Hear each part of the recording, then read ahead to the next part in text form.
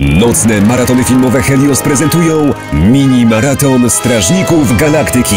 Już 5 maja o godzinie 21 zagramy dwie części serii z premierą filmu Strażnicy Galaktyki 2. Mini maraton Strażników Galaktyki w kinach Helios. Start 5 maja godzina 21.